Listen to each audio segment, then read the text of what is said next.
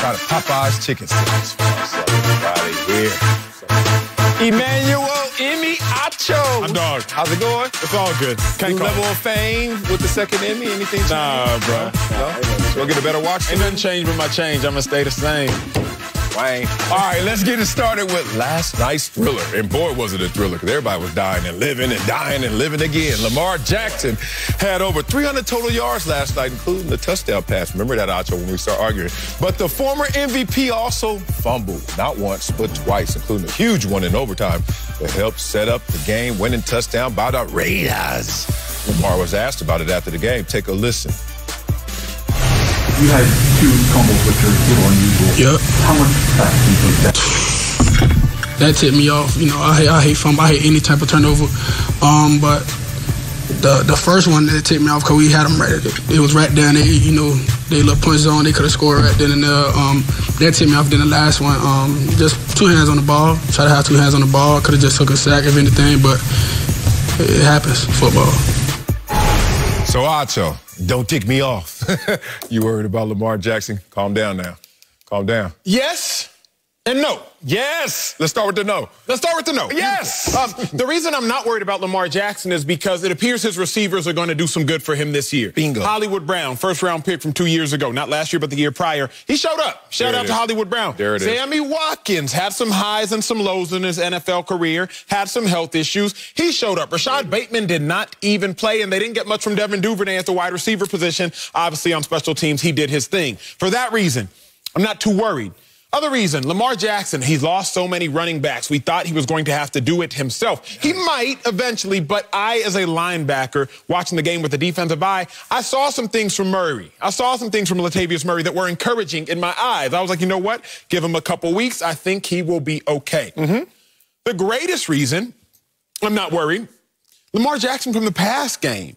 235 yards passing does not seem like a lot, but remember, that's the third most passing yards Lamar Jackson would have had in his last 17 games. Mm. Last year, he only eclipsed 235 twice all season long. He did that opening night. So it appeared that the Ravens are making a more concerted effort in Lamar Jackson's passing game. It appears they're making a more concerted effort to find his receivers downfield. I you saw that ball to Sammy Watkins he threw. Keep you talking. saw finding Hollywood Brown in the end zone on a scramble play. Oh. A couple years back, I don't know if Hollywood Brown would have been able to figure out how to get open, and Lamar Jackson would have found him. Eventually, him and Mark Andrews will click even better. So I'm not worried about that. Let's go. For all of those reasons, I am not worried about Lamar Jackson. But boy, Sal. Boy, you got a big butt. That butt is uh, yes, huge. That one is, mm. I'm not mm. going to get fired, so I will not make any announcements. Peaches. but um, yes, that one is a big, large, all caps butt. 100% injury ratio in the National Football League. All of last year in September, Marcellus was telling me, well, Acho, Dak Prescott ain't never got hurt, so your 100% injury ratio statistic can't be accurate. You remember that? That was early in our show. and then Dak Prescott unfortunately Did. got hurt. Yes. Lamar Jackson, so many people would say, and they would be accurate in saying, he's never missed a game due to injury. But we remember the end of last season, mm. the Bills game, he got concussed. If the Ravens would have won that game. Lamar Jackson probably would have been doubtful the next week. So he actually left that game due to injury in the playoffs, maybe one of the biggest games of Lamar Jackson's career. Why am I concerned? Because my dog took 12 hits yesterday rushing the ball intentionally. Mm. Then he took three sacks yesterday while trying to pass the ball. Keep in mind, y'all, Lamar Jackson's only 6'2", 210. I'm going to save a lot more of that for my next lap. Mm. Keep y'all dialed in. But I'm not concerned there is that big but, though, I'm going to get into later. Okay. I'm glad you had a balanced approach because I just thought you were going to come in hot one sided and we were going to argue up. That's why I wore my suit, this color. Um, we aren't going to argue here. Am I worried about Lamar Jackson? No. Am I slightly concerned? Uh, yeah, because I've been here before. And I've been here on the side of the predator, not the prey. Mm-hmm. A lot of people don't know who Ted Cottrell is. Ted Cottrell is one of the best defensive minds the football's ever seen. Ted Cottrell was Wade Phillips's defensive coordinator when Wade Phillips was a head coach. He was my coach in Buffalo. Ted Cottrell gave it to you real, gave it to you raw, and he gave it to you in a brilliant way. One thing he used to say is the memo's out. Mm-hmm. And I was like, what is the memo is out? And he used to say this about players, certain players. I played in the era of Barry Sanders and cats like that, where it was like, you ain't gonna stop them. But it's time to send a message. Mm-hmm. So every time you can get your hands on him, put some hands on him. We talking about oomph. We talking about to the echo of the whistle. We talking about we gonna make him feel it. So next time he goes around, he gonna think about it. The memo's out on you, Lamar Jackson, brother, brother, brother. Watch out. They shooting. Major. Look, Lamar Jackson's getting hit like we know that you are a special threat. We know that you are X factor. So now you're starting to see them tee off on Lamar Jackson. And it's not just in the intensity of hit, it's also intensifying how many times they're hitting him and quantity. You brought that up. Let me add some context to this. There were 13 pressures from one player by the name of Maxx Crosby. And now Max is a beast to me. I like him. He's a little, a little old school if we want to go Jared Allen in mm-hmm. the sense, but a little more octane than even my boy Jared Allen, who was a monster, future Hall of Famer. 13 pressures from him. Let me give you some context in two ways. One, he had the most pressures of any defensive lineman last week. That includes TJ Watt, who just got all that money, who balled out. And it also includes Chandler Jones, who just had five sacks. Wait a minute. I know pressures is not the most interesting the statistics, but that means you got to the quarterback more so than anybody else in the NFL last week. But he didn't get the sacks. You know why? Because that's the gift and the curse of Lamar Jackson. He's so special. You could get here, but you ain't going to get here. I love that about Lamar Jackson. But let me give you context in a different way. Everyone after the Super Bowl kept telling me about Patrick Mahomes and giving them excuses, giving them passes, giving them a nice mattress to lie on because he was getting pressured. His offensive line was hurt. Oh my God. Do you know the pressure rate in the, uh, in the Super Bowl for Lamar, for uh, Patrick Mahomes, excuse me, was 52%. Do you know what it was last night for Lamar Jackson? 54%. He took more heat last night. You didn't see it. You didn't feel the effect because Lamar Jackson's that special. He took more heat last night than we saw Patrick Mahomes do in the Super Bowl.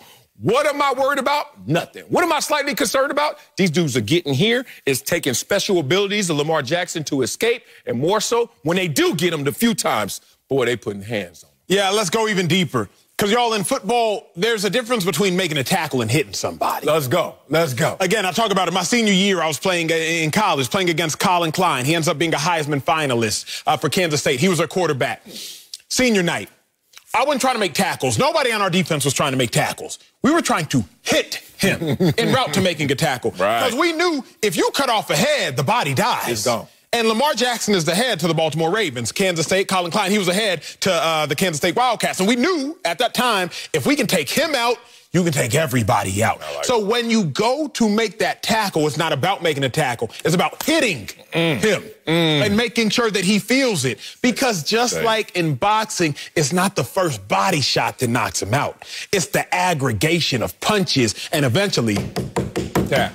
They tap. Mm-hmm. Gotta go. You're exactly right in talking about defenders now look like they're not just trying to make tackles. They're trying to hit Lamar Jackson. Early on in his career, 18, 19, 20, it's just like, hey, just get him down. Defensive coordinator, I don't care, just get him down. Get him down.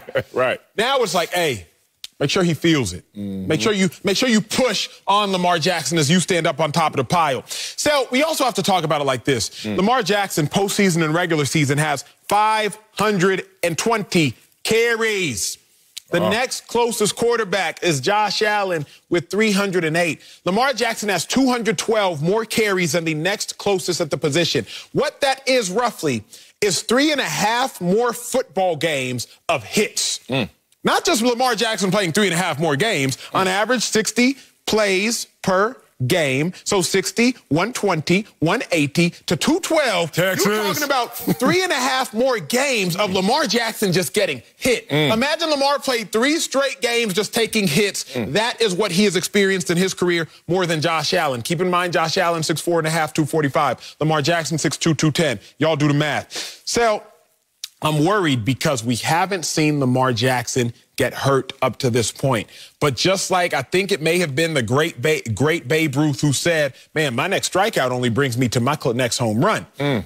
Lamar Jackson's next injury free game, in theory, is only bringing him closer to getting injured, particularly when you're running the ball this much. So I love that they're trying to take the approach to air it out. Yeah. Keep doing that. Because mm-hmm. I think now Lamar Jackson's becoming more lethal with his arm, and that will help in the long term. But you can't watch that game last night where he fumbles twice en route to putting the game away and not be concerned or worried at all. Yeah, I hear you, but I'm not going to be worried because sometimes it doesn't add up. Like, like the most talented quarterback ever is not the best quarterback ever. It doesn't add up, mm-hmm. right? Sometimes you look at a guy and you could give his physics, you could give his measurables, but it doesn't add up. He's not injury prone. Let's look at uh, Warrick Dunn, might have um, another guy that people don't know him, but my boy, Dennis Northcutt, played 10 plus years in the league, never injured. Never injured. Like no surgeries, nothing. Little is hell. Warrick Dunn, 5'9, 180. Ever injured? I don't remember. So the point is, it doesn't always add up. We've not seen Lamar Jackson hurt just yet. It doesn't add up. But he needs protection. He needs it up front because, boy, they are coming and they are coming with a message in mind. I saw some special things last night. And it's weird, the team that won, I wasn't as impressed with as the team that lost. Kind of reminds me of the Buffalo Pittsburgh game. I wasn't that impressed with Pittsburgh, except that they got a little bit of a running game. And certainly they got a runner in Najee Harris. But I was impressed a little bit by Buffalo. And I said, that's a better team. Mm-hmm. I look at this game yesterday and I say, Raiders, y'all in trouble. Even though Lamar Jackson gave away the game. Let's talk about how this game really played out. the Raiders, what the hell?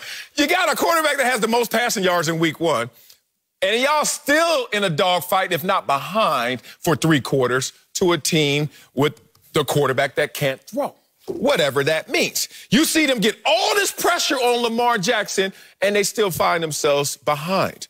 You see all of this adding up and you start to realize, I don't know what the formula for success truly is for the Raiders just yet, and I don't think they do. But for this team, Lamar Jackson and the Ravens, you know what's going to happen? That passing game is going to mature.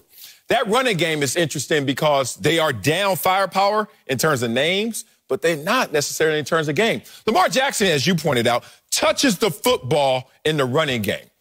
He touches the football more than any offensive player in the NFL.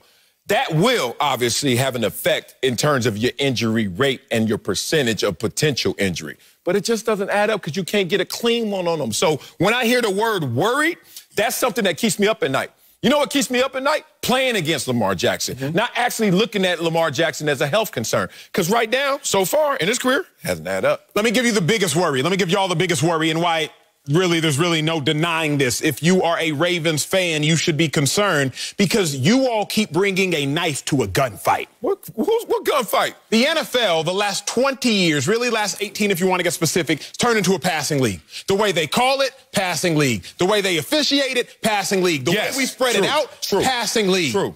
But the problem is the Ravens are a running offense. Ravens rushed for 189 yards yesterday. The Raiders only rushed for 82 yards yesterday. Win Baltimore. Problem the Raiders passed for 435 yards yesterday. Lamar Jackson passed for 235 yards yesterday. Problem, y'all know this as well as I do. Why in God's name would you drive when you can fly? and the Ravens continue to drive to their destination. Oh, the Raiders last night, they flew to their destination, and that's why they arose at the final destination, which was a win. Mm. Lamar Jackson's pass for under 235 yards under 250 yards 37 times in his 42 starts. Mm. Derek Carr just passed for over 400 like it was nothing. Mm. So my biggest concern is these Ravens, they showing up to the fight and they showing up with a weapon.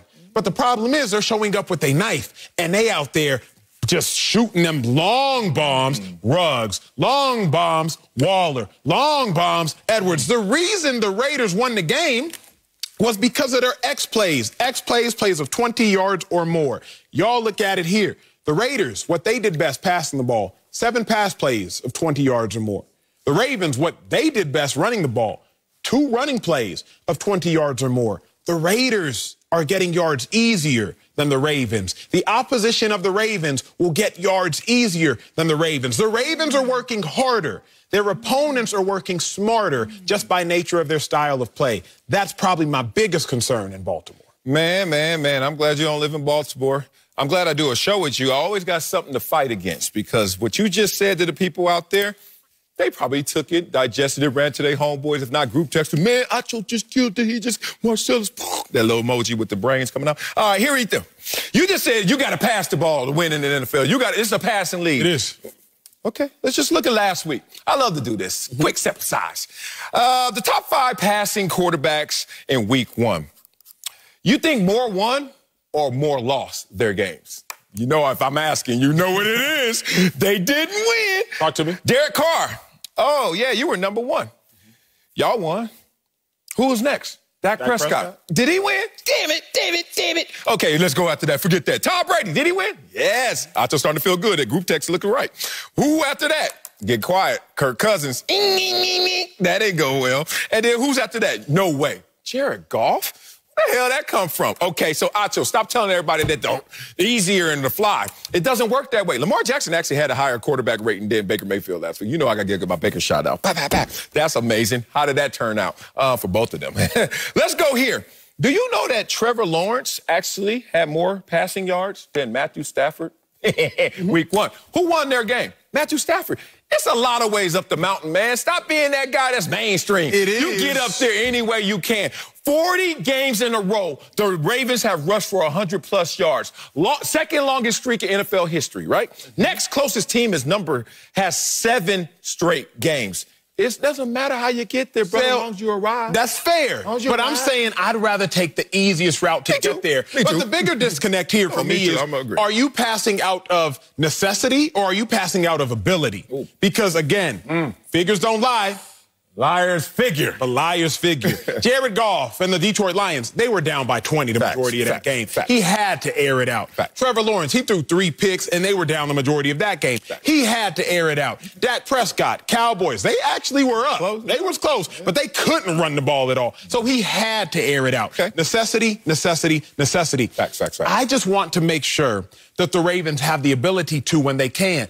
After the Raiders had that interception in overtime. Baltimore gets the ball back. Lamar gets the ball back. He fumbles. Raiders get the ball right back. If the Raiders didn't have a prolific passing offense, they might not have scored with these. But instead, second play after they get the ball back, they come out in a little bunch, pick route, easy touchdown to the point where Marlon Humphrey, maybe the third best cornerback in the league, just gave up on the play. He was like, "What?" He was like, man, it's over. Y'all beat me. me. Y'all got me. Because of the ease in which the Raiders were able to do that by throwing the ball, they simply won the game. My biggest concern is not that you can't win running, but you're just making it harder on yourself, big dog. You're just making it a little too hard. I don't like it. You're right. You're right. If you combine the injury concern with the fact that you are picking the harder route to success, I give you all that. I'm still not worried though because I saw Lamar Jackson go out there with combined passing and rush yards, 321. Hasn't seen that since week 16, 2019.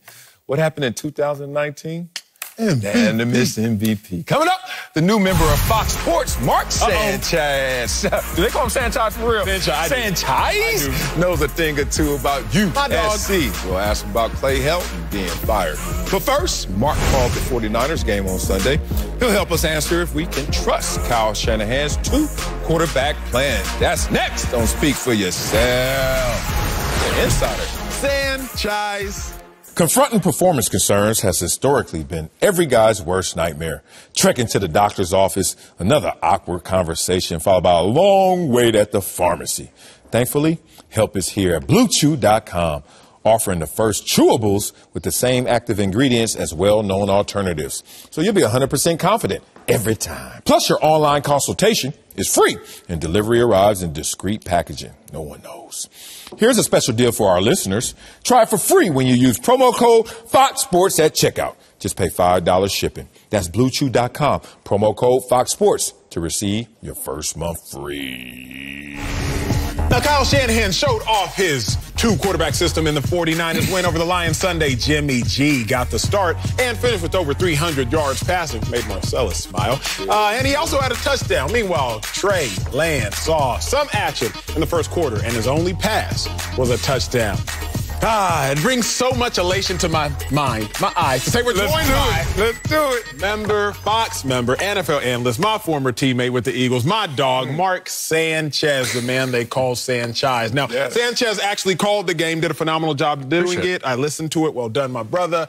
Uh, Basel, you up first, man. Do you trust Kyle Shanahan's two quarterback plan after the win? I do trust it after the win. I do trust it after seeing it because it's not really a two quarterback system. Like, this was all hype. I thought it was going to be 50 50 split, something of that nature, seeing them go out there and then in the middle of a series, okay, you come out for half the reps and I go back out for half the reps.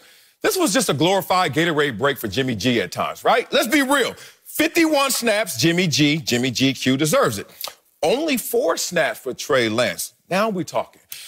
When you see defensive tackles come back in and back and forth, you never hear it's a two defensive tackle system, right? the hell you had to coin a phrase two quarterback system because in theory it misguides you. In theory it makes you think something grander than it is, but in practice it actually was something that was smart. It was intelligent, taking advantage of who one play Trey is. He comes in, he's a firecracker, he's the spice of what they need to do. I like it as long as it's in these limited doses.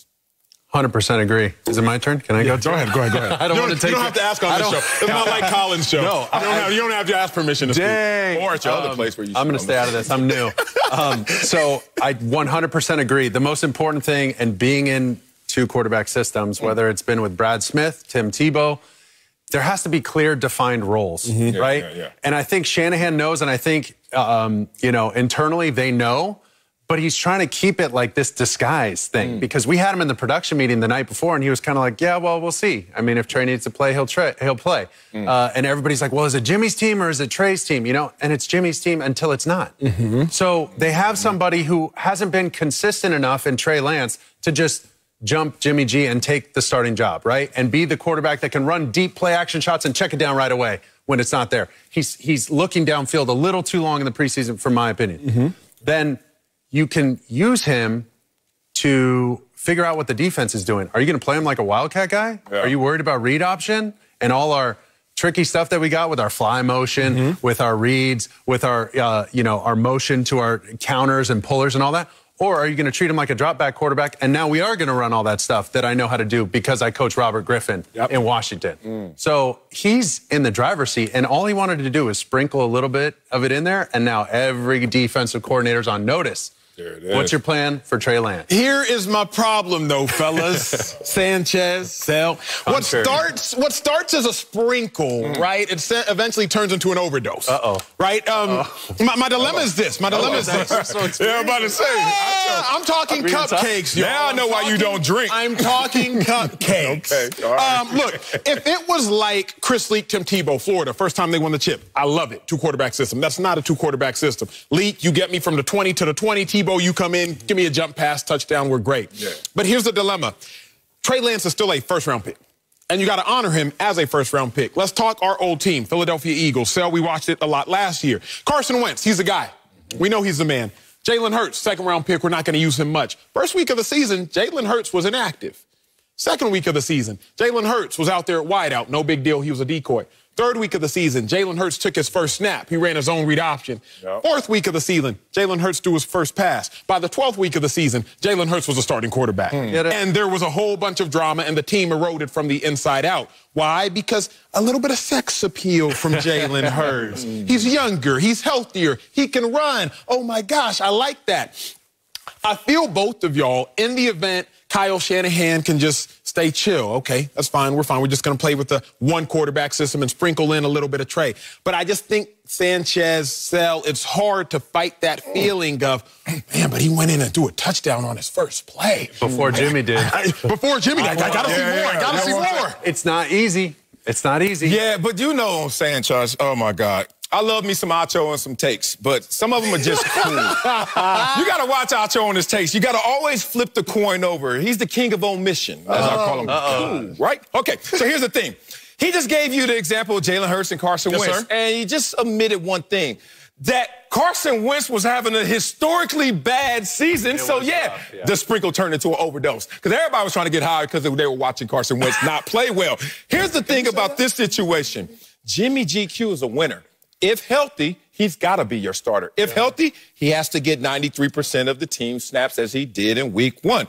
And I am not scared of what I'm seeing from Trey Lance just yet. I love the concept of Trey Lance, and I love actually now how Kyle Shanahan is using him as a decoy in your mind yep. as an opponent.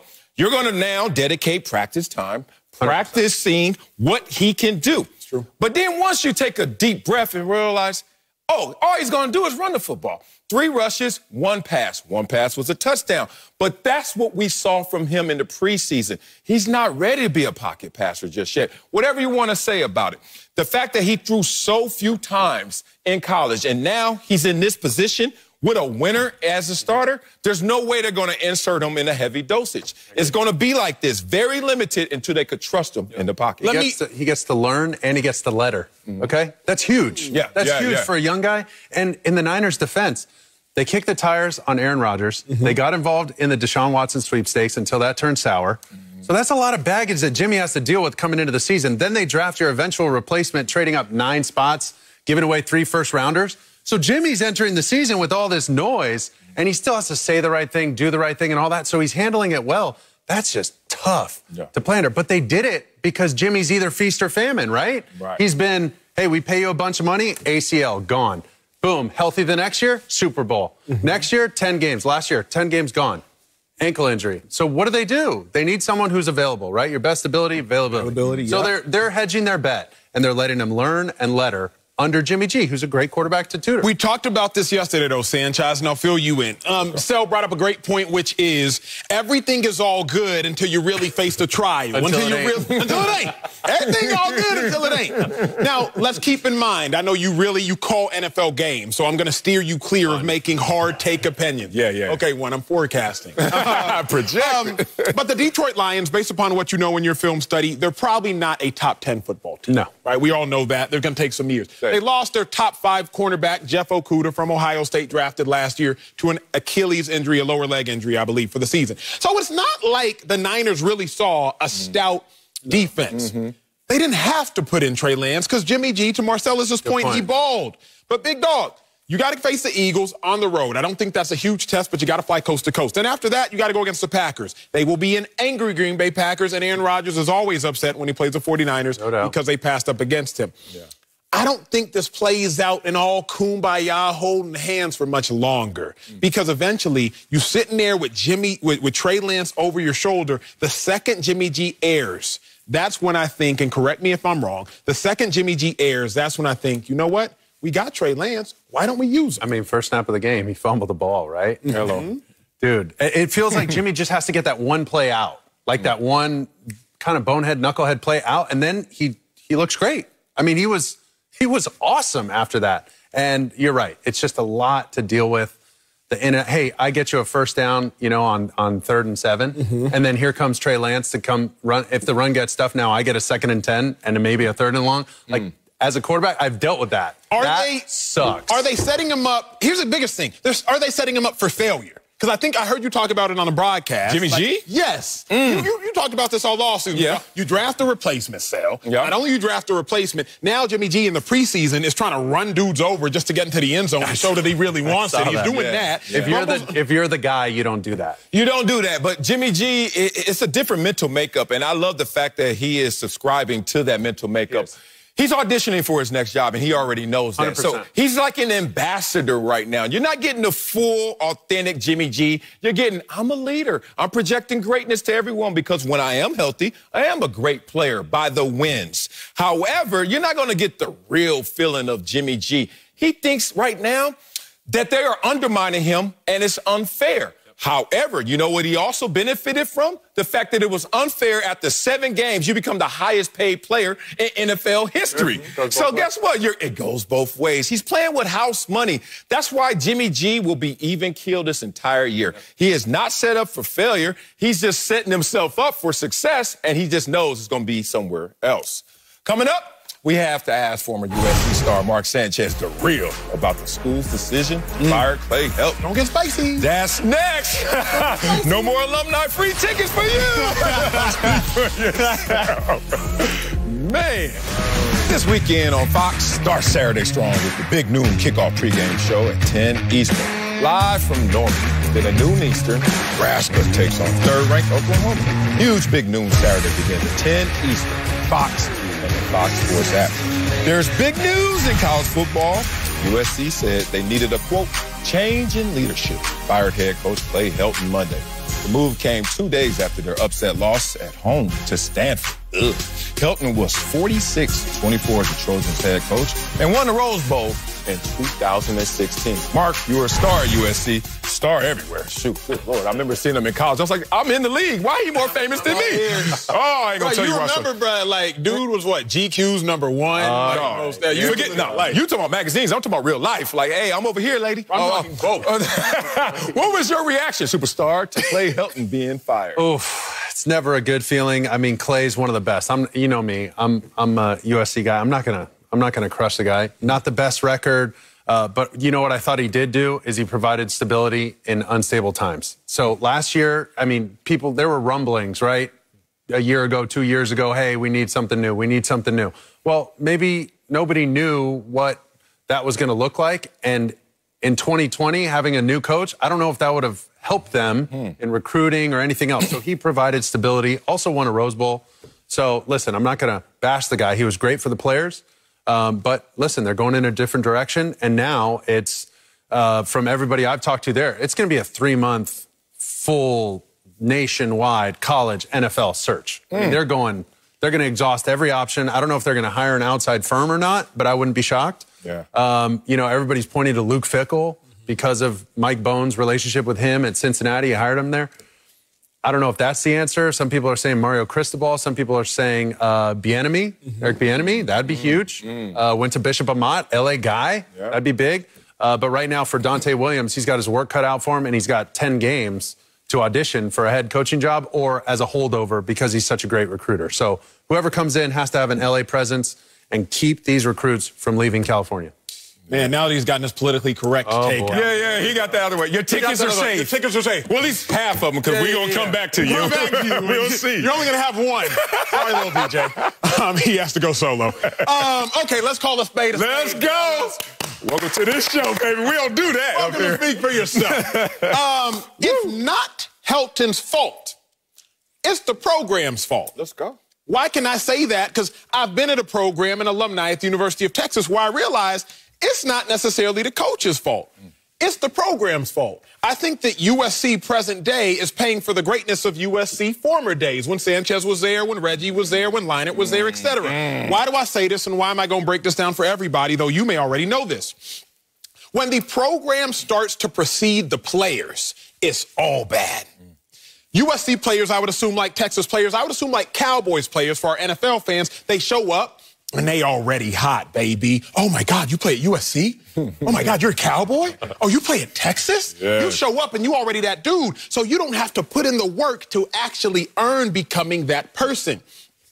USC tried hiring a brilliant football mind in Lane Kiffin. Lane Kiffin's a brilliant football mind, say what you will. Oh, yeah. Moved on from him. with you. You hire another brilliant football mind in Sark. Obviously, Sark had his off the field issues at that time. Didn't work out, moved on from him. Now you hire a phenomenal human being in Clay Helton. I can't speak to his football brilliance, but a phenomenal human being by everyone who speaks of him. Didn't work out. So it didn't work out for a brilliant football mind. And it didn't work out for a brilliant person. So who's it going to work out for? Again, I just say be careful what you wish for. Clay Helton won 10 games. Clay Helton won 11 games. Mm.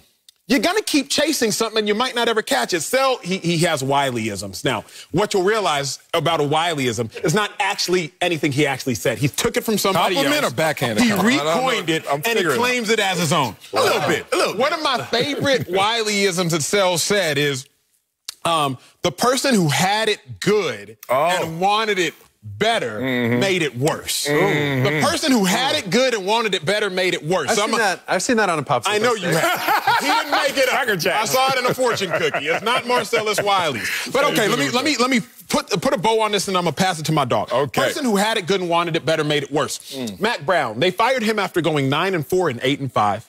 You hired Charlie Strong. He never saw eight or nine wins. Then you hired Tom Herman. He only saw nine wins one time. Fired him. Now you hired Coach Sark. Mm. Person who had it good and wanted it better made it worse. Mm. USC. Hire Lane Kiffin. He saw 10 wins one time. Then you hire Sark. He wasn't there very long. You hire Clay Helton. He saw 10 wins once. He saw 11 wins once. I get it. You're USC. Your expectations are so incredibly high. But just remember, you had it good. You want to make it better. You might just make it worse. I don't think it's Helton's fault. I think it's the program fault. I'm going to dive in more later. Okay, yeah, we got to dive in oh more later. A lot of questions there. Um, I think you guys need a little help in your takes Uh-oh. right here. Because I'm looking at USC and I can feel it tugging at your heartstrings. And then I'm looking at University of Texas, big football. And I think you guys need an outside perspective, an Ivy League small school perspective, 3,000 people in the stands perspective. Because I don't think you guys can see the forest for the trees. Here's the thing. This move by USC to go to Clay Helton was an intentional pivot for economics. This was an intentional pivot in perception. This was an intentional pivot because of the ethics.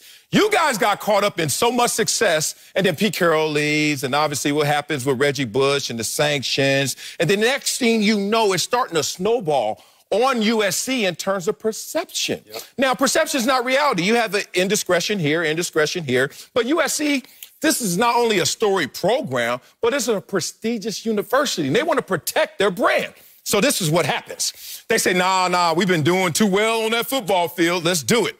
So then they go out there and they go get Sark. Now, Sark did highs and lows, and then he was gone after the second season.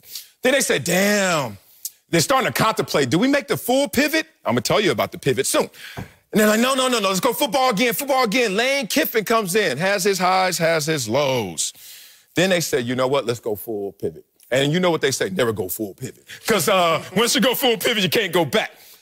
They go to the better person, not necessarily the better football mind or coach, but the better person. Let me tell you why they did this pivot. I went to an Ivy League school, and in the Ivy League in 1982, uh, we dropped from being big time like you guys. You know we won the Rose Bowl in 1934, right? We dropped from being big time. Shut up. We went from big time, and we had we got forced basically by the NCAA to go to FCS 1AA. But now let's talk about the economics, the ethics, and why the pivot is necessary. 10 universities with the biggest endowments. Y'all ready for this? See, it's funny. Football on the football field in college is just like football in the pros. The players are rich, the owners are wealthy. Mm-hmm. Just like in college, programs that have great athletics are rich. The ones that have great academics are wealthy. Top 10 schools in endowments. This is the money. Harvard, one. Yale, two. Princeton, three. Stanford, four. Northwestern, MIT, Columbia. Y'all getting the point? The point is this they chasing dough now. They're to get nice guys. Y'all can keep talking about all these guys that can help. Oh, he's from LA. Oh, he's a great player. And now he's a coach.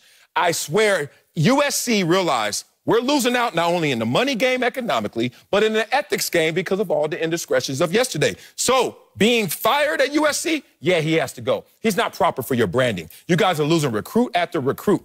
But the point is, I see why USC made this move. We'll see if they stay committed to that pivot.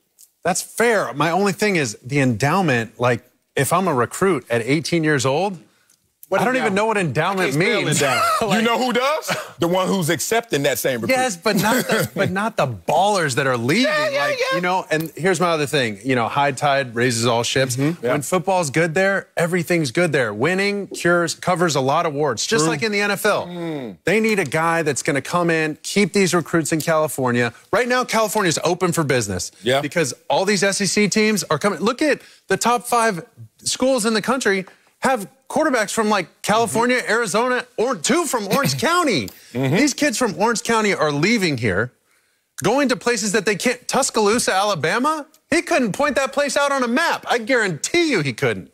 Same thing with uh, Big Cinco over in uh, Uiagalelei yep. at Clemson. He doesn't know where that is. No chance he knew where that was. So now it's it's a matter of these private flights coming in from the SEC, going to see 20 high schools, and all this. They've shrunk the world with with Twitter, mm-hmm. with Instagram. Now they can talk to these kids. Mm. Before they just had a wall up around California. And it was like, don't come here. It's a waste of your time. I think the problem now, though, we got to be real, man. And I think uh, Texas fans have had to come to this realization. Michigan fans had to come to the realization sooner. SC fans might be having to come to this realization.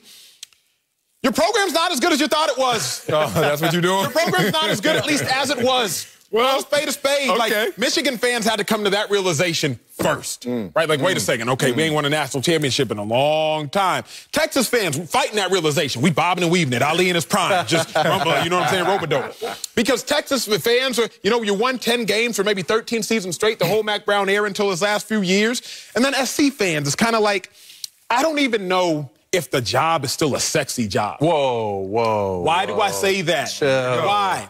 Because what is I say I say that I have an achoism. I just don't use them nearly as often. mine are actually creative. I come up with mine. Um, my, my my achoisms. It's go. kind of like expectation minus reality equals disappointment. The expectations at USC are so high. They should be in the college football playoffs. They should make it to a national championship game.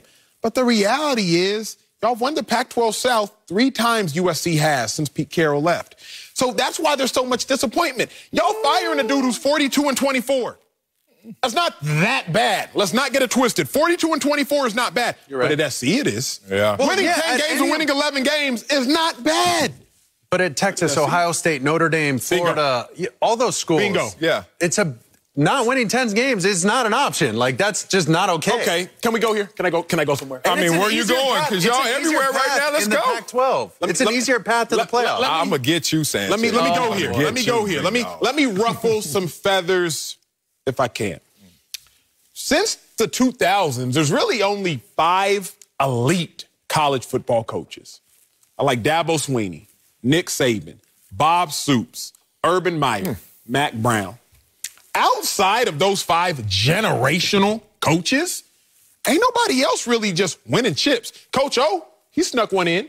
Gus Malzahn, Auburn, he snuck one in. But they had generational talents. Cam Newton, at quarterback. Jameis Winston, college quarterback. The thing is, SC, who y'all chasing? That generational talent outside of Stoops, Brown, Urban, Dabo, Saban. Nobody else is really getting them. but that's every generation. But the I mean, problem, there's Yeah. four or five guys so then, that, what's SC to do? that run the table. Are, are they Whoa, whoa, care about money? Are they to only go in on sales points? No, but like, look how they got Pete Carroll. He wasn't the first choice. No. It- they- everybody dogged him in LA. They didn't want Pete Carroll. Everybody was pissed.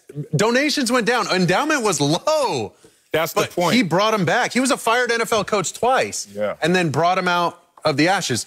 To come up and rise from the ashes, something's got to burn. Man, it, it- it's just sad to see.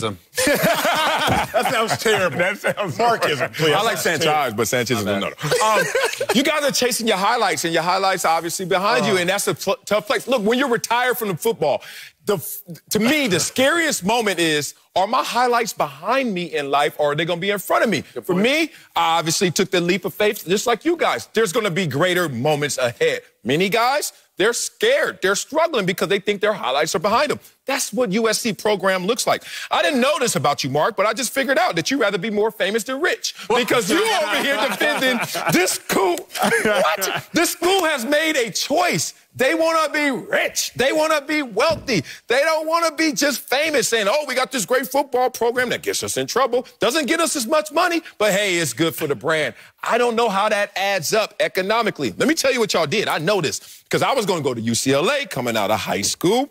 And I was looking at USC. I wasn't good enough. I'll be real about it. I wasn't that good to go to USC. I've noticed that you guys have intentionally, and this is smart, lowered the acceptance rate. Columbia does this. And then you raise the tuition. Columbia does that as well. And you know what that does in perception? Makes the school more exclusive, prestigious. And now you make more money. I don't understand why people don't get this. USC is doing better now than it was when you guys were out there winning all those games. It's just you guys are just locked up into this football world of forest. Because it doesn't matter. Texas got blown out by Arkansas this week. Blown out. We got crushed, 40 to 21, my alma mater. Mm. And I'm sitting here trying to rationalize it, right? Because people clowning us. We lost to a lower tier SEC team. Mm. Texas, no way they can make it in the top tier of the SEC schools. So I take to Twitter, my little Twitter fingers. Oh, boy. I take to Twitter. I'm like, yo. The move from Texas to the SEC was a financial move. We There all know go. that. Anybody doubt. with common sense knows it's a doubt. financial Now we're move. talking. Problem is, fans don't want to hear that. They don't. Players don't want to hear that. Uh, Nobody cares, Sell, about endowments when you're talking about the big dogs. we don't care about endowments. Yeah. We care about winning national yeah, championships. Yeah, yeah, I only care about millions, not billions. Forget that. Okay, this is just being real. SC got this problem too. One, they're out the football game right now. When Clay Helton was hired, there were other football minds they could have chose over him. They chose the glorified executive assistant of coaching. He's an offensive mind who didn't even call plays, right? Graham Harrell's out there calling plays for him. He's just making sure everything, he's a glorified manager in that role to make sure the brand is protected. But Chip, Chip, Kelly's here now. Y'all noticed that, right? And Chip Kelly, when he was in Oregon, used to poach LA. All Chip Kelly did was say, I need a flight to LA, I need a flight to Hawaii. And trust me, Oregon gonna be fine. And Oregon was fine. Now he's here. He's taking all the players that are local unless they go to the top programs elsewhere. Four to five top teams in college football have quarterbacks all from here, as you spoke of.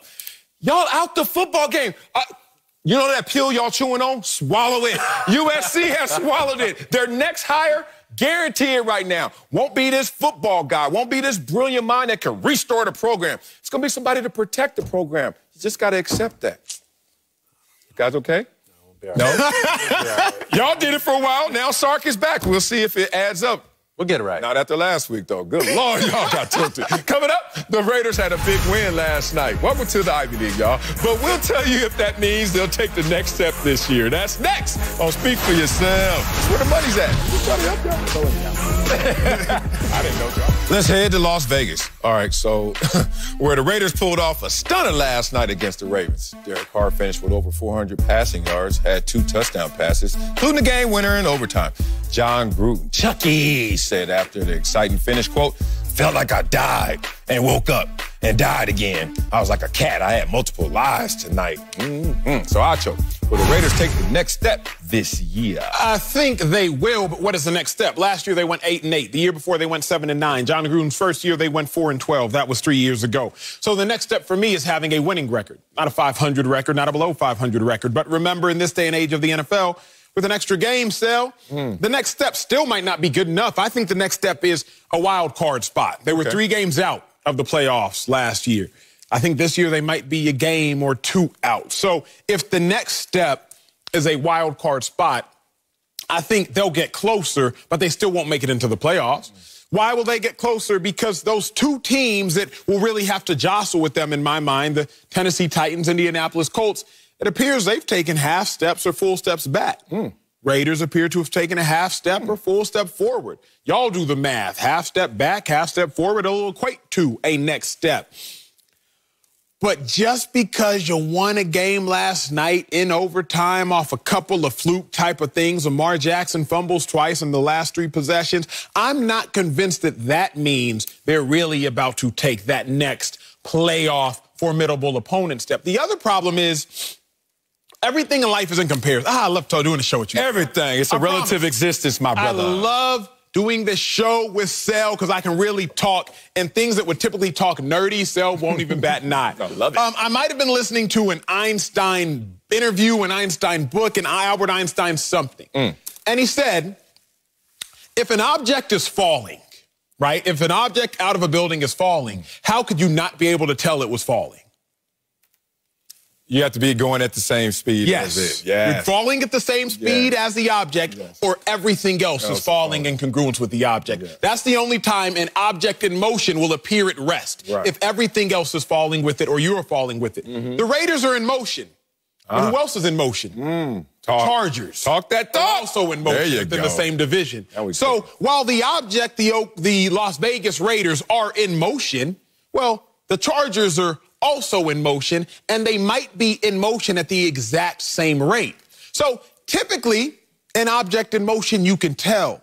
But like Einstein says, an object in motion appears to be in motion unless there's another object in motion at the same time at that simultaneous speed. So mm. the Raiders might take a next step.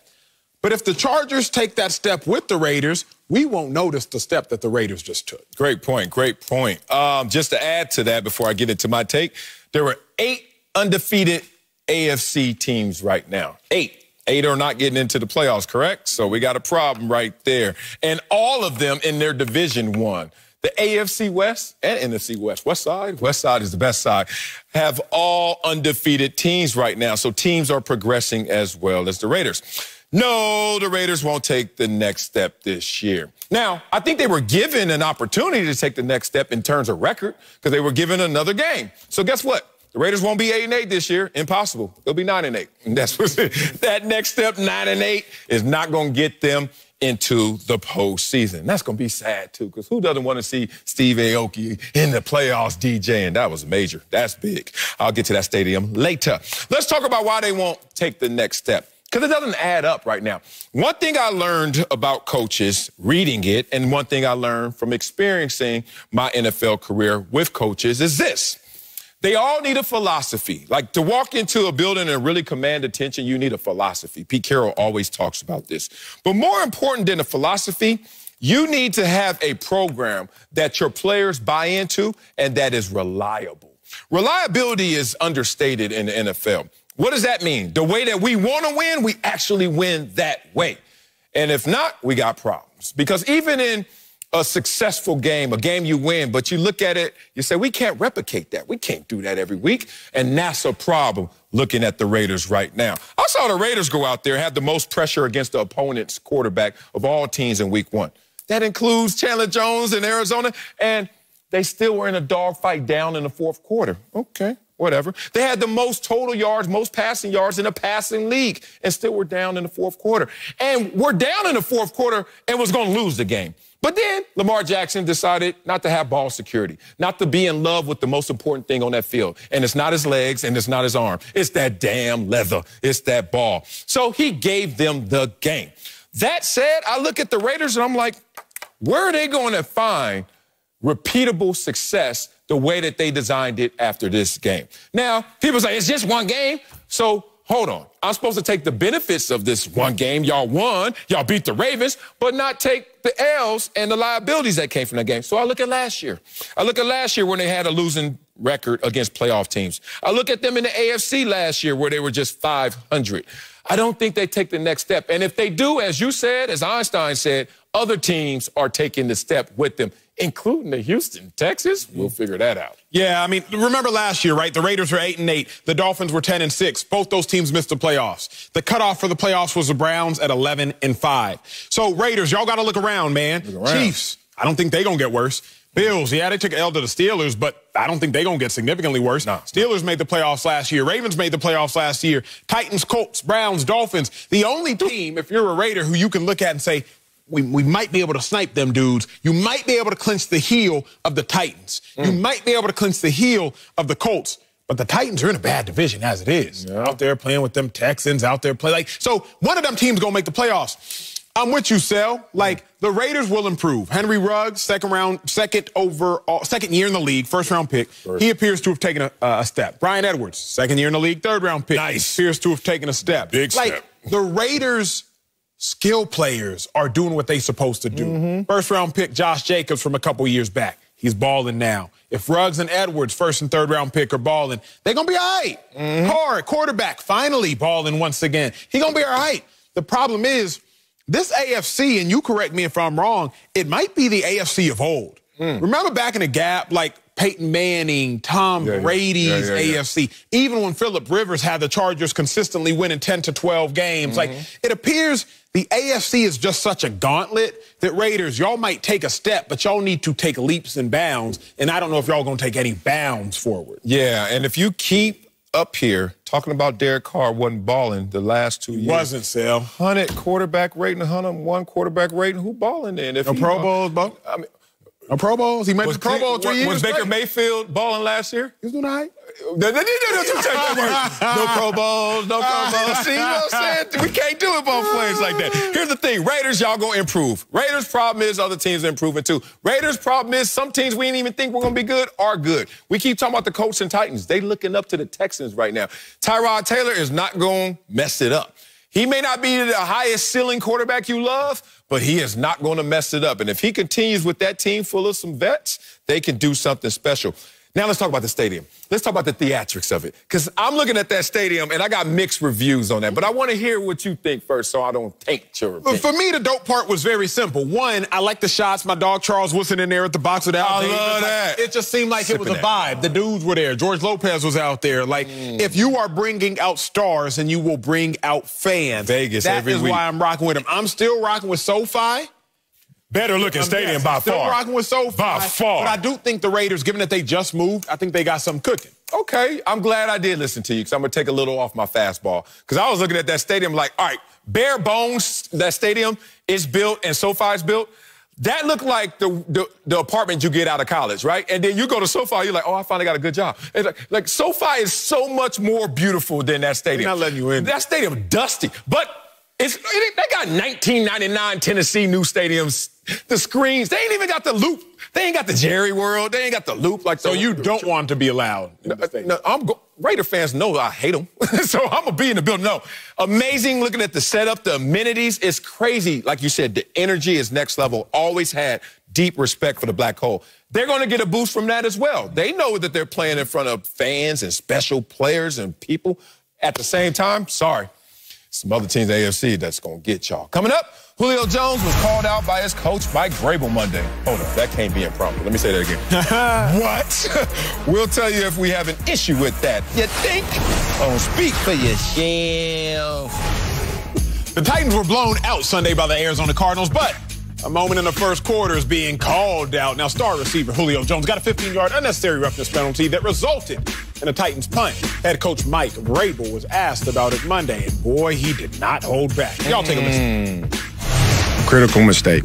You know, I don't think that you know, those, those are absolutely that's that's absolutely nothing that that we coach or teach. Um, you know, so that would fall into the category of doing dumb that hurts the team.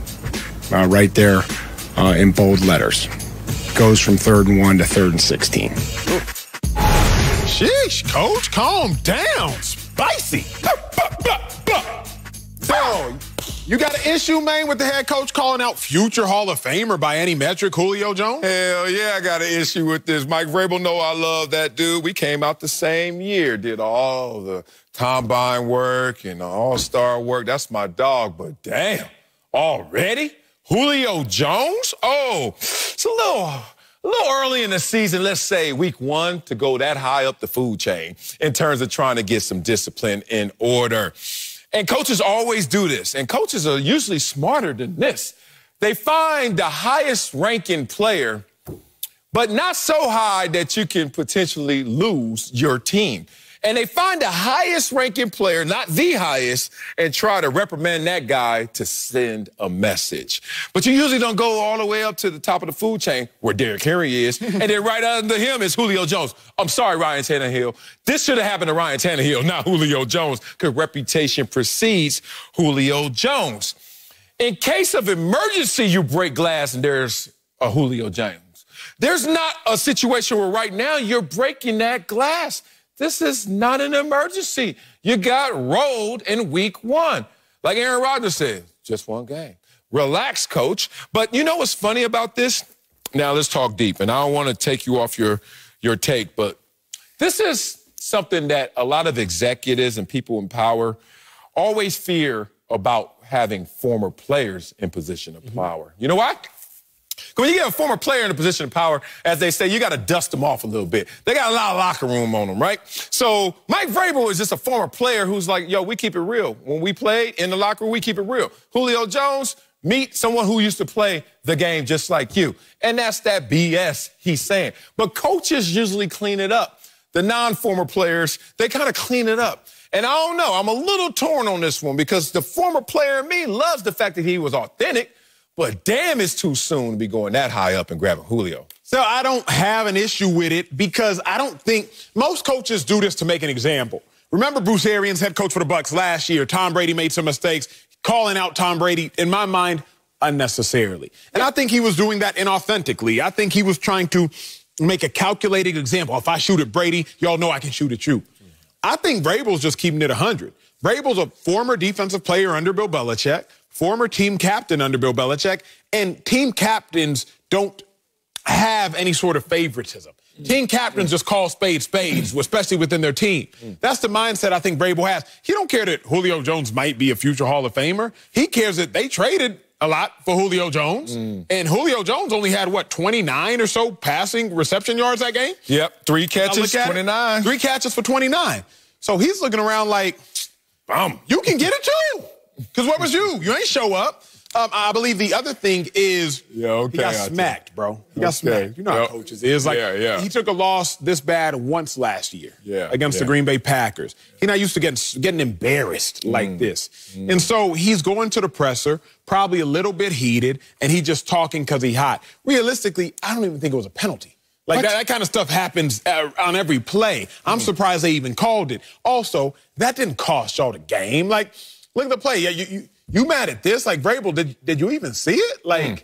I mean, sure, call it if you want to. Maybe swung at the helmet, blase blah, but they both uh, Johnson, they both out there wrestling. Now, he didn't even hit him in there. I don't know. It's just me. Mm. I think Vrabel is just being who Vrabel is. I have no issue with it. Yeah, but who Vrabel is doesn't mean that's who Vrabel needs to always display. Um, let's be real about it. And they did get mollywop last year, 40 to 14. Mm-hmm. He been there before. So don't act like you ain't took a L before and a capital L on top of that. I love how you talked out of both sides of your mouth just right there. You're a broadcaster and a former player. You don't know who you want to be right now. All them Emmys got you confused, homeboy. Um, there is no place in this world where you look at someone based on their status and your summation is, oh, you can get it too. Nah, B, because you and I up here get away with some stuff that somebody else who comes as a guest or someone else who comes up here is not to get away with, Acho. Um, I don't know anybody else who gets water during breaks, you know I'm saying, and they ain't getting their own water. I don't know anybody else who gets what, these mixed bags of nuts you always eating and chewing on during the reads and messing them up. but nobody checks Acho because Acho can't get it too. You know what I'm saying, Acho? Respect that. Now, Vrabel knows that Julio Jones is a future Hall of Famer. You know what that means? Even in bad games, they respond. Get a dude a and respond. New system. Bad offseason. They had all kind of issues out there in Tennessee. Three for 29. I get last year Julio didn't look amazing as well. Problem is, if you want people to put respect on his name, it starts with you, coach, Sure. by putting respect on his name. But be real, man. And, I'm and being it's real. sound jaded Week or one? whatever. If you're Mike Vrabel, you're looking at Julio like, who are you? You got any Super Bowls? Because Vrabel do. You're looking at Julio Jones? Who they? Who are you? They carried you. Vrabel, you, were they going to win those Super Bowls without you? Mm-hmm. Uh-huh. Who better, Julio or Mike Vrabel? got Super Bowls, coach. I don't want to hear. That's for all that? y'all. Who- That ain't you. No, you talking to me, homeboy. If you Mike Vrabel, you looking at Julio Jones like, right, you was hurt last year. I still went out on a limb for you, although he played in the majority of games. Remember, right. he played injured. All right. I went out on a limb. Nine for you games. as the head coach. Three, uh, uh, uh, three catches, 29 yards. I get what you did in Atlanta. oh, you on this. What you done here? Who are you? Mm-hmm. If you recruit somebody over from another network, that's cool. You had a dope In the first show, you going to try to undress him just because I ain't like how you did the B block? I'm just saying, who are you, big dog? What have you done for me? First of all, What have Vrabel better not me? ever, ever, ever get his lips to say that to Julio Jones. He can say that to me. He better not say that, and he barely say it to me because he got the Super Bowls. Damn it, I'm better than you, Vrabel. That's kidding. Vrabel's a beast. Um, here's the thing. It's, this is, let me give it to you in a story form. Please. Belichick, Parcells. Obviously, you know that they had their little issues, but they kind of learned the same thing. A lot of that was osmosis. Let's be real about it. I was with Bill Parcells 2004. Eddie George, I think he had a 10 year streak of starts at the running back position, Mm-hmm. like some NFL record, right? All of a sudden, Bill Parcells was looking at Eddie George. For whatever reason, he didn't feel Eddie George. He didn't like Eddie George. He didn't like his style. He didn't like how he played. He didn't like something about Eddie George. Do you know that we went into a game and Bill Parcells' first play from scrimmage was a pass, but not just a pass, a pass where we're going to have an empty set. Like, we don't need a running back. Broke this man's streak, third down, put him in the game, just like, um. And the way Tuna used to sit there was like, petty, petty, petty. I don't know if this is that level of petty, but this is that level of why, dog. You don't have to play the game that way. I understand everyone has to be accountable, but it's a way that you go about enforcing accountability. Starting at Julio Jones week one, what you gonna do after that? It's only Derrick Henry left to The problem go. is, in our minds, yes. But in Vrabel's mind, Vrabel's looking at it like this. I done been to the playoffs two years in a row with these horses I got. Yeah, Derrick right. Henry, Ryan Tannehill. I done been to the playoffs with my dog A.J. Brown at a wide receiver. We just lost our dude Corey to the Jets. So I know I got some dogs, and we've won a lot of games with these dogs. I'm not going to bring you in, who's Julio Jones, and now we take the second worst loss Mm. we've taken in the last 18 games, and now baby you. Because it's almost like, Sel, I could do it without you. Let's flip the, the, the analogy on his head. If a co-host now comes in working with you, and you already had ample success, I can't come in forget to do a read, do something, you're going to be looking at me like, who are you? Because I did it without you. The first show, you know the first show I would do? I would say, what you doing after the show? Come here, man. We walk into the dressing room and say, you know, like after we come back from commercial, that stuff in the prompter, read that. You know what I'm saying? Hey, my dog. Glad to have you here, homie. Week one. Week, I don't have a problem. Go check Julio. Three catches, one game. Two catches, that's game. Four catches. Julio, what's up, dog? Now I got to undress you in front of everybody because you acting like everybody else. You're supposed to be special. But week one, that damn fast? Woo! He better. Only reason I give you some credit in that take is the fact that he's trying to build a culture. And it's a winning culture. Mm-hmm. And he's continuously trying to reinforce that. You're right. And Julio doesn't come from that winning culture to the same degree as of late. I hear some of that, but not all of that. Coming up, everybody cannot win in the NFL. We both sides covered. Look at this. We're picking our winners and losers from week one. That's next Don't Speak for Yourself. Welcome back to Speak for Yourself. It's time for our week one winners and losers. But a quick reminder, we're not saying anyone or anything is an actual loser, but for one week, one week only, they certainly look that way. So, Acho, Emmy, give us your losers for week one. Man, week one, my third biggest loser, unfortunately, Deshaun Watson. Mm. Okay, how Deshaun? He ain't even play. Why Deshaun? Because Tyrod Taylor, the backup to Deshaun Watson, who ended up starting the game, balled out. Now, Deshaun is the Texans' all-time passing leader, 269 passing yards per game. But in replacement, Tyrod Taylor still gave up or had 291 mm. plus 40 rushing, and they won 37 to 21, although they were underdogs to the Jacksonville Jaguars. so Deshaun was actually my third biggest loser. My second biggest loser. Let's go. Couple guys. Packers management. You got to feel stupid as can be when you concede to all of Aaron Rodgers' complaints and demands. Okay, Aaron, we'll sign Randall Cobb. We'll give you everything you need. they signed Randall Cobb, and Cobb's only catch came from Jordan Love. Mm. So Packers management, my second biggest loser, just because they feel dumb. I would feel dumb. At least you get blown out 38 to three. Worst opening season, worst opening game loss in the last 51 years are the Green Bay Packers. Silly. But my biggest loser. Last name starts with an L. Capital L. Taylor Lewan.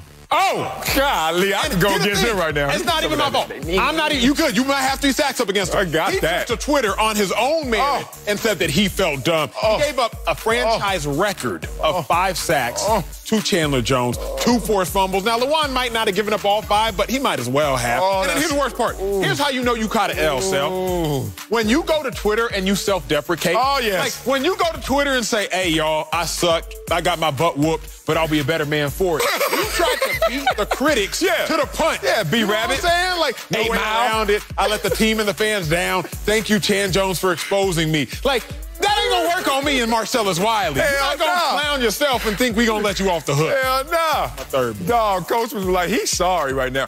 As we call those players, that's a limo. You give him a limo to the hotel to make sure he shows up at the game so you can butter that bread. That's all right, though. He's still a beast respond. All right, my number three loser is Lamar Jackson. Yeah, I'm going straight to my heart. Y'all know how much I love me some oh. Lamar Jackson, but I ain't never seen somebody lose twice on Monday Night Football. Good Lord. God dang. Lamar Jackson gave the game away. Lamar, you gave the game away. Ball security, you got to fall in love with the football more than your legs, more than your escapability, and more than your arm talent. It's protecting the football. And you were out there, you fumbled it three times, and you lost it twice. Lamar, you lost a game for your team. Now, my number two loser, Buffalo Bills. I told you I'm going to the heart. Not enough buffalo sauce. Like, look at my boy, hook the wings up and you go here, extra crispy sauce on the side. They went out there and played a better game than Pittsburgh. Who won the game? Not them.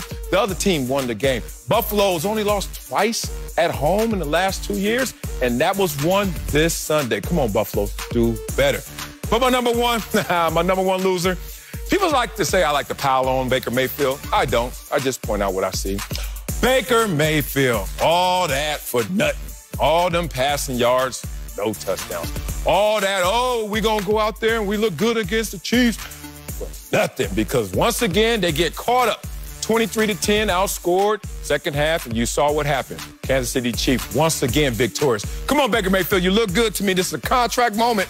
But you still got to respond. You can't be doing all that for nothing. I was about to ask you, Sal. Baker Mayfield, he didn't do great. He kind of proved himself in that mm, game, at least, mm. to be a game manager. Lamar Jackson, two fumbles in pivotal moments, like you said, lost twice. Does this at all affect their contracts or small fries in the big scale? Oh, no, no, not at all, because you believe in both of those guys. Now, the difference is Baker Mayfield is trying to prove he could be the lead dog. Like, okay, this is really going through me. That's a pivotal moment to throw an interception when you're trying to be the lead dog on a team that's built off the run.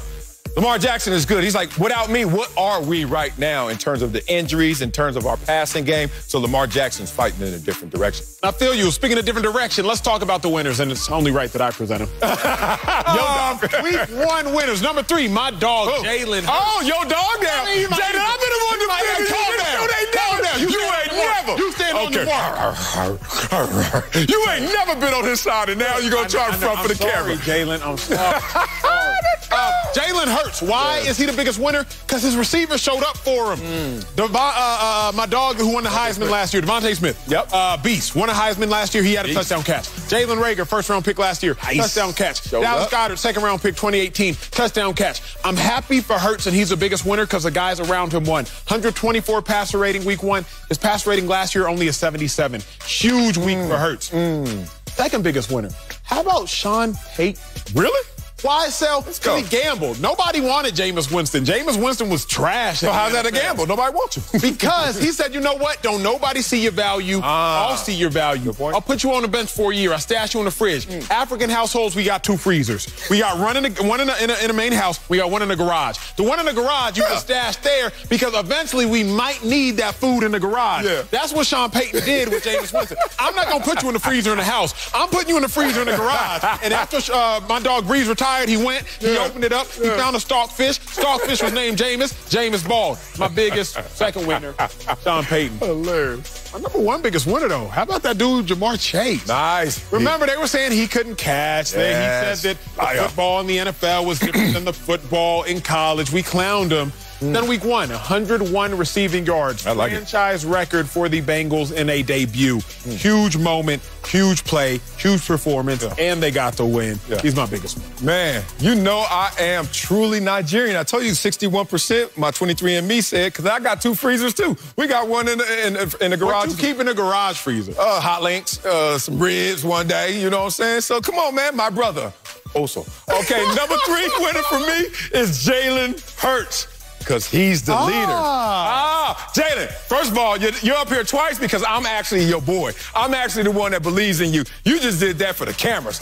Jalen Hurts went out there and did what he's supposed to do. All these question marks is he the leader of our team? Is he our franchise quarterback going forward? I always believe and I bet on workers. The talent's there.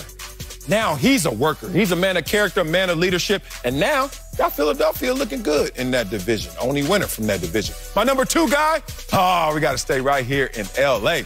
Matthew Stafford, what the hell? All aboard the hype train when it comes to Matthew Stafford. What are he doing his week one performance with his new team? Just have a career high in passer rating. What are he doing his week one performance? Go out there 34 to 14 and win that game at home hey, they got a real quarterback, and I know you think they're going to be in the Super Bowl. I ain't going that far, but we'll see. My number one winner, though, this is simple. Arizona Cardinals and Kyler and Mr. Mr. Jones. Oh, my God. Kyler Murray out there, five total touchdowns. Whew, he does so much with his feet, setting up his passing game, and he has the arm talent. But Chandler Jones, let me do this respectfully. Yes, respectfully. Played my position, had a half a seasons of production in one game, damn it. I mean, he had a contract year and he just had a contract game. He's about He about to say, uh, give me what TJ Watt got and Joey Bosa, combine them and add one. Yep. Chandler Jones is out there balling. That will do it for our week one winners and losers. Congrats to all you winners out there, and better luck next time for all the losers. Coming up, Cam Newton is still a free agent. Mm. We'll tell you if a reunion with Ron Rivera in Washington should be considered. That's next. Oh, speak for yourself. What is Cam wearing? Ryan Fitzpatrick was put on IR. Two letters we don't like to hear in the NFL. And he's expected to miss six, eight weeks. So the rumor mill always flying around for a reunion between free agent quarterback Cam Newton and his former head coach of the Panthers, Ron Rivera. But reports say Washington believes in Taylor Heinicke. Rivera said, quote, we like the guys we have. Okay, Sal, this ain't our segment, keep it 100, mm. though I wish it was. Ron Rivera not keeping it 100, but keep it 100 with me, please. Should Washington consider signing Cam Newton? No. They should not consider signing Cam yeah. Newton. Right? I know, I know. Well, let me tell you how I got here, because I don't even want to play around with you like it sounds like the Washington football team and Ron Rivera wants to play around with Cam Newton.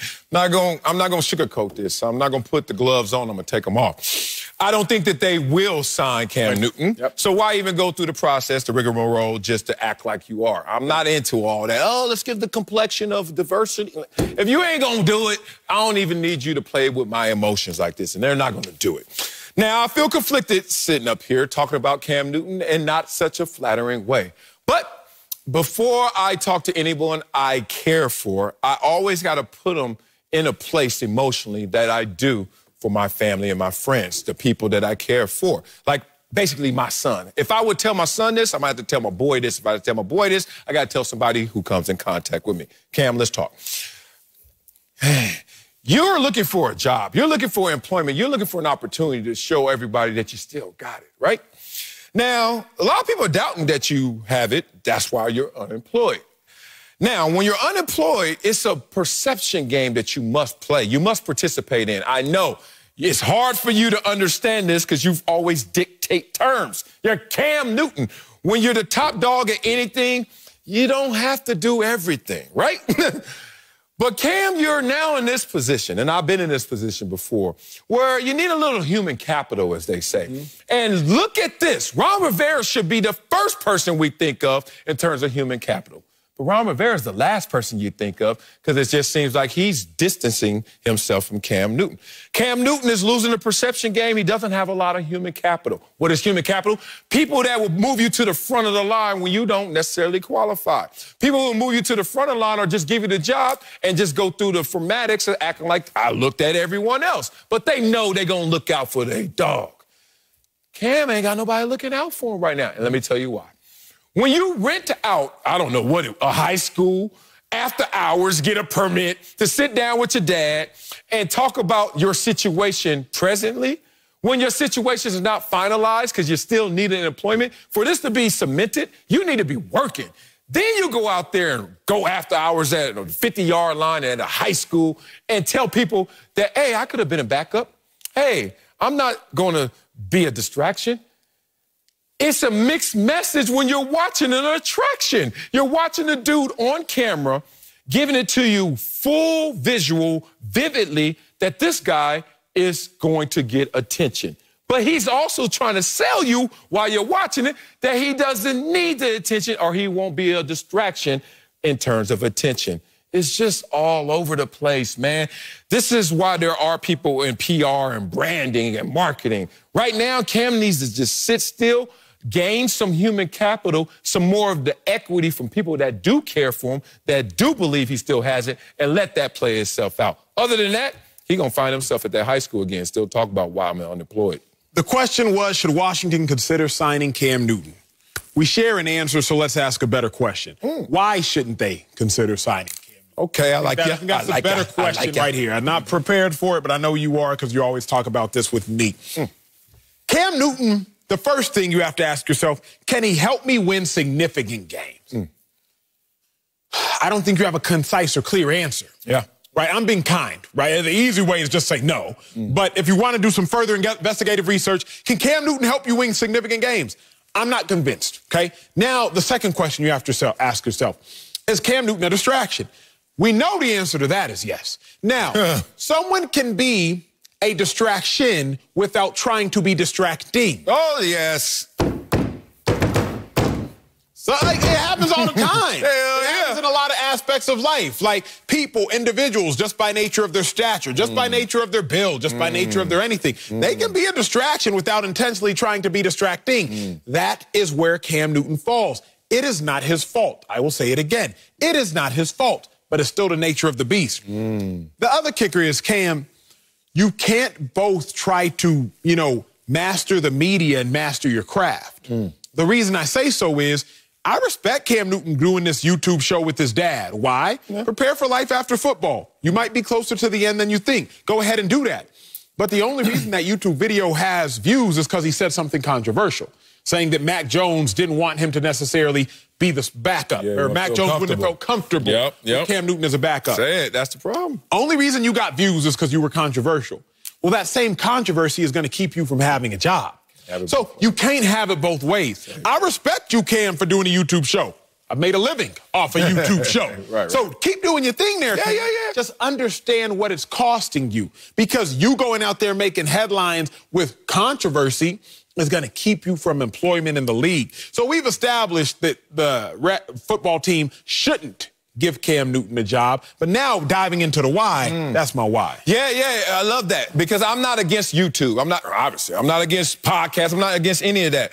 But what he's not saying is actually speaking louder than what he is saying. Just sitting there, just the, just the, the animation of looking at Cam Newton telling you that the guy who just beat him out is to feel uncomfortable with them. Okay, that lands, and that sounds polarizing because you're talking about another person, and you're talking about somebody who beat you out. But what's worse than that is you're saying, I'm not to be a distraction. And we're looking like, dog, you are Cam Newton. Everywhere you go, you're a distraction. And you said it best by not even trying to be distracting. I have a lot of homegirls. We always talk about that, especially the beautiful ones, the fine ones, the 11 homegirls I got. They can't go to the grocery store. They ain't trying to be a distraction. They they dress down, baggy sweats, hat on, something. And then here comes some dude. Oh, can you pass me the peas? Like, like, dog, come on. Always, everywhere you go, there you are. Here's the thing about Cam Newton. He has to understand that most communication is nonverbal. And if most communication is nonverbal, we ain't got to hear it to see it. We know it.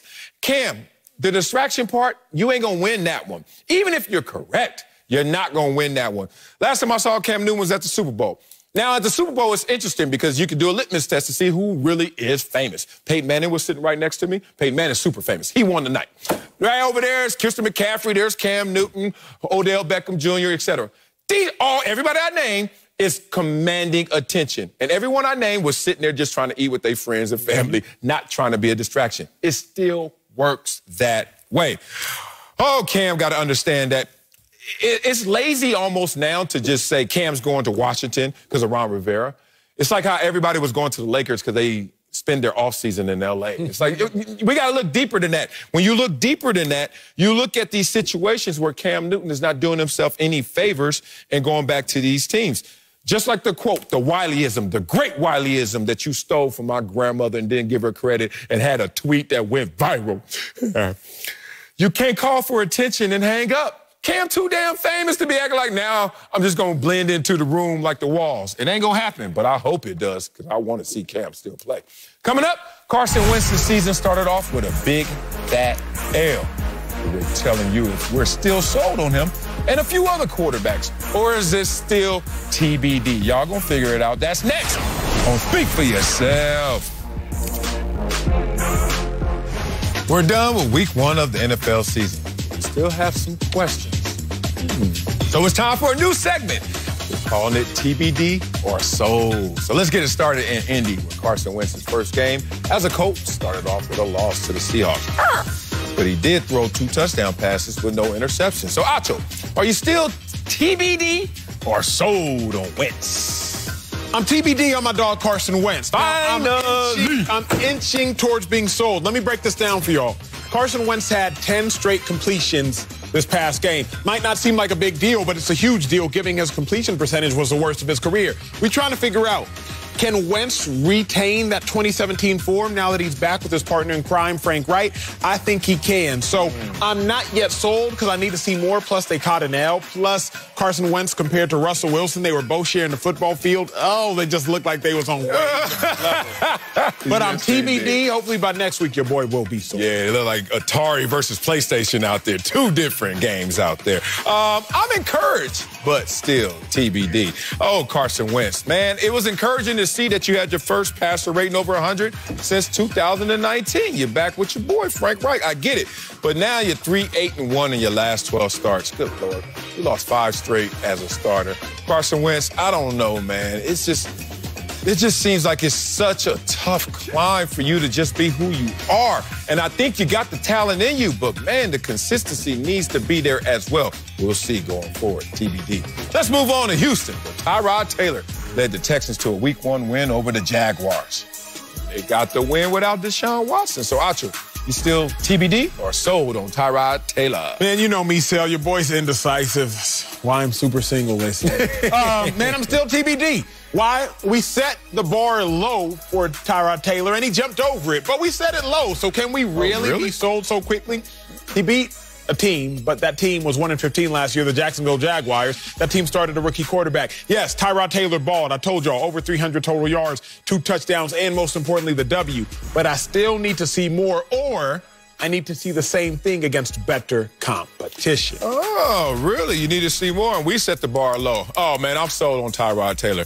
Um, he's 25, 21, and 1 as a starter. That's a great win percentage, even greater than, um, drumroll, Deshaun Watson's. Oh, let's not go there. Had his highest passer rating in since 2017. Went out there and scored points and gave the Jags the business. The 291 passing yards he gave the Jags most against the Jags since 2016. I hate to say this, man. Y'all gonna mess around, and Deshaun Watson is gonna become an afterthought with Tyrod Taylor in town. He's gonna go get traded for a seventh rounder and some Whataburger sauce. And It's time to go to Green Bay. I ain't right. Where Aaron Rodgers had the worst margin of defeat in his career. Reigning MVP finished with two picks, no touchdown passes. Mm. Acho. TBD, sold. Aaron Rodgers. Three for three, TBD. Man, what you doing a segment for if you ain't gonna be sold on nothing? Because why, Sal? How you want me to be sold on Aaron Rodgers when it's the same dude who missed all of OTAs because he was in Hawaii? Same dude who during training camp he didn't really know what he wanted. Same dude who finally said what he wanted and he wanted Randall Cobb. Same dude who was offended and now you want to come out and lay an egg? How you want me to jump immediately to being sold on Aaron Rodgers? I get it. He's great. But the thing is, I do not think we will see the same level of greatness this season. At least not based upon that atrocious week one performance. It's just one game. But eventually, one game becomes two. Two games become three. Three games become four. Playing the Detroit Lions this week, so don't even ask me next week, Sal. Ask me after week three how I feel about Aaron Rodgers. So the man, Detroit Lions don't count. Man, full disclosure, America. This is his idea. This is his segment. He ain't sold on nothing. I'm sold on Aaron Rodgers, dang it. I'll be the one that keeps it balanced up here. You talking about he, we won't see the same level of MVP greatness. Yeah, he might not win MVP back to back, but he's still going to ball out because he's Aaron Rodgers. Last time I saw him have a game this bad, last year, 35 passer rating, lost to the Bucs. What do he do the next week? Destroy the Texans, 132 passer rating. Who does he have this week? The Detroit Lions, 2 0 against them last year. 70% completion percentage, five touchdowns, no interceptions, 122 passer rating. That's what Aaron Rodgers do. The greats respond. We all fall down. But if you're great, you got to get up. Coming up, Tom Brady is trolling the Falcons ahead of their week two matchup. Or is he? We'll tell you if he's being petty or funny or something else. That's next on Speak for Yourself. Now we all remember when Tom Brady's Patriots came back from a 28 to 3 deficit against the Falcons in the Super Bowl a few years ago. Yeah, I remember that one far too well. Well, Brady definitely remembers. He was hyping up their matchup on Sunday, and he just happened to have the numbers 328 on the computer screen behind him. I love it. Sal Brady Yes. being petty or funny? Oh, there's only one choice here. It's funny because the plausible deniability of this one. Like the politician of Brady, like him and his team at work. Like, what do you mean? It was just after practice, after a workout. What? I don't know what time it is. That's what makes it hilarious. It can't be petty. Let me box you in right now. Because when it's petty, you're trying too hard or you're doing too damn much. Brady's doing neither. He's just like, what you talking about? I'm just doing a video. Just happens to be 328. So I don't think the two are mutually exclusive. Oh, excuse I, I you. think you can be both petty and funny. Um, I think it was both. I think one is petty. Oh, oh. because here's the kickers. Let's go. Brady, you don't even play for the Patriots anymore. It was the Patriots that came back from the 2018. That's still Tom Brady. I get it, but you rep the Bucs now, so like you still making jokes from your own old squad beating Oh, another squad. I just, okay. I don't really Oh. get it. But Oh, oh, you New. England fans, those in Boston, I'm sure it was funny. But to me, I'm just like, are we not over it yet? We ain't moved past it. Oh, really? So if you won a gold medal for Nigeria and then you came to America, you wouldn't be happy for your gold medal there because now you with America. You can't still be happy to. You still making great- jokes? Are you still shooting shots? Damn right. down. Did I do it? I'm got to. See, now you're trying to make me say he's petty. He's not being petty. This was hilariously funny. Like, it's so intentionally unintentional. Like, that's the best jokes there are. Are you okay? Do you need some comedy relief? You don't But think it- that's funny? No, if you have to try too hard to make the joke. That's hard? Yeah, he had to set his clock. Somebody went there in the old school joints, like, oh, 3.28 p.m. Trying too hard. Well, you got me. But Kevin Durant's not funny and petty? All right, that's it for us. We'll see you tomorrow. Talk to you there.